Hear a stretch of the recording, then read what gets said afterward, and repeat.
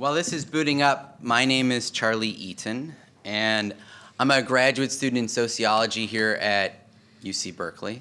And I'm also the financial secretary of the UC Student Workers Union, UAW 2865. We're the 12,000 teaching assistants, readers, tutors at UC. And we've been working with a whole lot of folks around the state, Occupy Education, and another group called the Refund California Coalition. So what I'm going to talk about today is related to that. This is not my slideshow. Nope. Um, so while that's getting up, I, the my talk is going to start from where uh, Professor Paul Pierson's talk ended, where he talked about. You might remember. Thank you. He talked a little bit about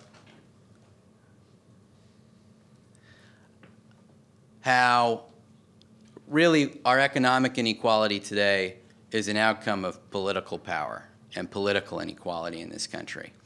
But I actually think, uh, do any of you know Coolio, rapper from the 90s? Um, do any of you remember his epic rap anthem, Gangster's Paradise? Or, or it might be Gangsta's Paradise, I couldn't remember. He had a line in that uh, song that I liked so much. It was, uh, Power's in the money, money's in the power, minute after minute, hour after hour. I think that's pretty much what this is about. It's about power is money. And so if we want to undo economic inequality in this country, then what we really got to do is if we're trying to take that money back from the 1% and give it to ourselves, put it in our pocket, the 99%, we got to build our own political power. And we've got to do that from the bottom up uh, which is something that a few folks have touched on. The question is, how do you do that in times like today? Uh, Cindy just said, well, you know, the person who uh, makes the rules rules the game. I want to add something to that, which is I think if you want to make the rules, you got to break the rules. Um, and I think that if we're trying to answer that question, what do we do with Citizens United? What do we do in days where the rules are totally stacked against us? I think it's the Occupy movement that's really given us the answer to that question. That if we really want to do something about this inequality with the rules stacked against us, we got to break the rules.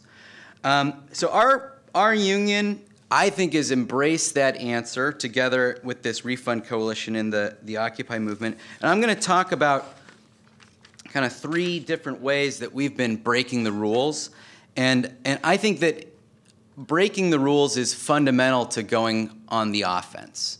Um, so, the, and the first way we've been breaking the rules and going on the offense is that we're promoting ideas that break the rules of political discussion. The second is we're building coalitions that grow and strengthen organizations that are willing to break the rules. And the third is we're trying to make the 1% pay for uh, more bottom up institutions that empower the 99%. And specifically, what I'll talk about is we're really focused on making the 1% pay to refund education. So, Starting with the ideas, I think the most powerful, important rule breaking idea is one that's been repeated over and over and over today that we've got the Occupy movement. And I don't know how the movement came up with it. I don't think it was any one person. It's this idea of the 1% and the 99%. It is an incredibly powerful idea.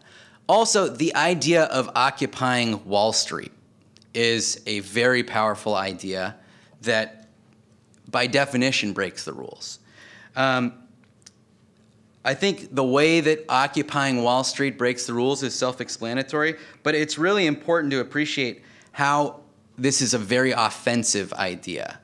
Essentially, what we're saying is Wall Street, you can't retreat to Wall Street, you can't retreat to the country club after bankrupting all of us and destroying our economy. Instead, we're going to come to your doorstep, to your boardroom, and we're going to make you face the crisis that you caused and that you inflicted. And when we make you face it, it's not going to be pleasant. Sorry. Um, and then the idea of the 1% and the 99%, total rule breaker. Class warfare is what that sounds like to me. And in the past, politically in this country, you say something that sounds like class warfare, the Republicans then say, oh, that sounds like class warfare. The Democrats then say, oh, no, no, no, I'm not about class warfare, not about that. Um, but this movement has really embraced, I mean, man, Emmanuel Saez said 1%, 99%, like 100 times in his presentation. We here all today have really embraced this idea, and I think that's a good thing. Um, I don't know if any of you, if any of you have ever been at a protest where people chant, we are the 99%. It's just very, I can't imagine people going and chanting, we are the middle class. That, it doesn't happen. Um, I think that's a measure of it being a powerful idea. Um, so, uh, building coalitions. Oh, I was going to show you a slide.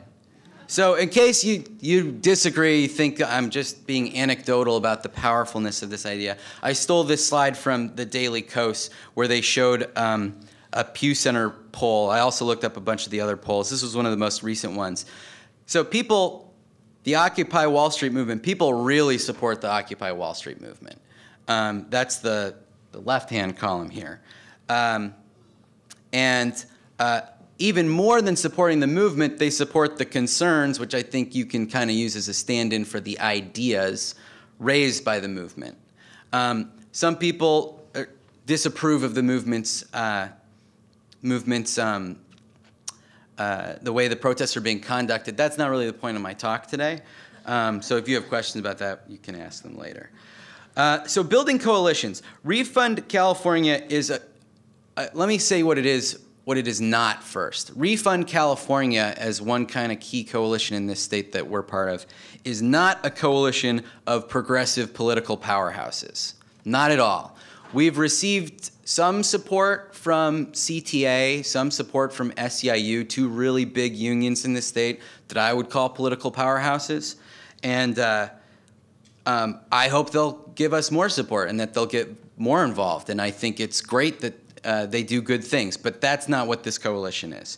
Rather, this is a coalition of groups with very deep ties to communities that have very little money, um, but we do have some money, and what we have a lot of is we've got a dynamic grassroots, we've got diverse ideas, we've got comfort with very flat horizontal decision making, and we've got a willingness to break the rules because we have less to lose by breaking the rules.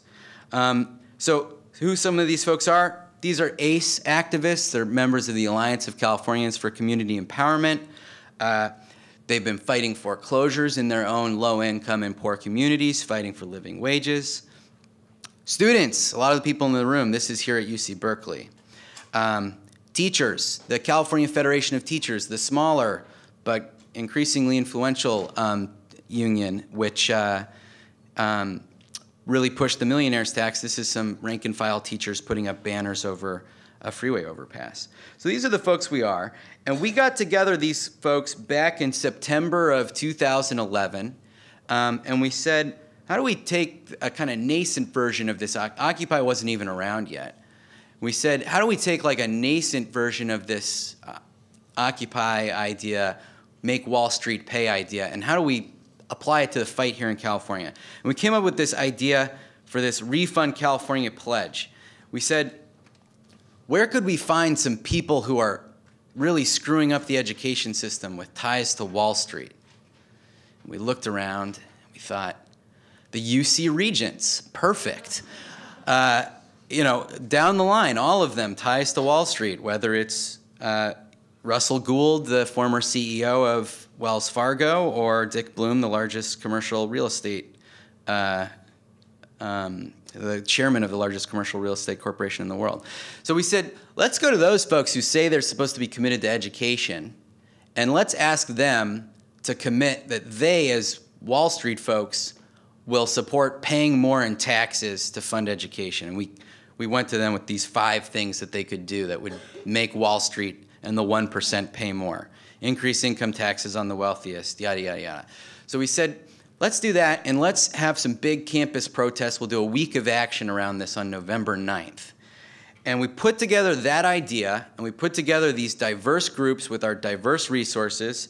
And I think a lot of you know what happened. This is what happened. We had 10,000 people in the streets uh, on the day of November 9th. They came back out again on November 15th. Uh, the following week to protest the police beatings of people here at UC Berkeley. And then again, folks came out the following week uh, to protest the pepper sprayings at UC Davis. So explosive. Um, now, this coalition, it's not just about winning, you know, winning these gains, getting more money for education right now. The benefit of this coalition is that it's also making these organizations with deep ties to the grassroots more powerful. Um, and we're already seeing benefits of that. Uh, you, you know, whether you like the new version of the millionaire's tax that's going on the ballot or not, the California Federation of Teachers, which really pushed that and was part of this coalition, has become a much more influential group. ACCE, the Alliance of Californians for Community Empowerment, is having more success than ever pushing anti-foreclosure laws in this state. Uh, our union, the Student Workers Union, we're very close to getting a law passed in California that we couldn't get out of the legislature last year that will double the size of our union by extending union rights to student researchers in the UC system. We're going to go from 12,000 to 26,000 workers in the UC system. So this is some real stuff. Um, and I just want to close, and, and, here at Berkeley, actually, we have a student government election coming up. The, I think that the UC Student Association has really increased its influence in the last year. And there's a student government election coming up when we're going to have the opportunity to vote for a new uh, slate, the Students for Democratic University, that wants to take the resources of student government and really put it into these kinds of fights. There's also some great candidates running for CalServe, and if we vote for those two groups of candidates, we've got a good chance at getting an even more dynamic and powerful uh, student movement and student association. Now I will close. So the thing I want to close on is why prioritize refunding education? Well, the main reason that I would argue for prioritizing refunding education is that funding education and making Wall Street pay for it is something very popular. People in America are broadly already there. Um, and our education system, as many of us in the room know, it does a lot more than just teach people. Folks learn to become citizens. We get healthcare services at the Tang Center. Schools and kids in elementary school get school lunches. And I think we can broadly expand a lot of, to make more universal, a lot of important social services by mobilizing this existing broad public support for refunding education to expand a lot more social goods social services through our school system. Now, we've got a concrete way to do this here in California to take a first step. There's this new tax initiative. ART has the petitions for it. You can sign them. But if it goes into effect, I think if we want it to pass, people got to know that the money's going to go to something that they like. And so we're putting forward a higher ed for the 99% budget package that will say the $9 billion in new revenue from this initiative, which is $2 billion more than the governor has said he needed to balance the budget without cuts. A good chunk of that money needs to go to higher education. There's $1.8 billion from that uh, initiative right now that's earmarked to go to an unnecessary speed up of payments to guess who? Wall Street. That's not the people who need to be paid back and who are owed in our society. Um, instead, I think we need to use that 1.8 billion in other revenue to roll back tuition hikes. This uh, higher education for the 99% package is something we're, that we're going to be rolling out in the next week. And if you want to get more information about how to be involved in that, you can go to the refundcalifornia.org website. Um, and I think it's just the first step. We're going to have to go federal and much bigger with this stuff. But this is the kind of bottom up way that I think we're going to take the steps needed in this long fight to get where we want in reversing inequality. Thanks.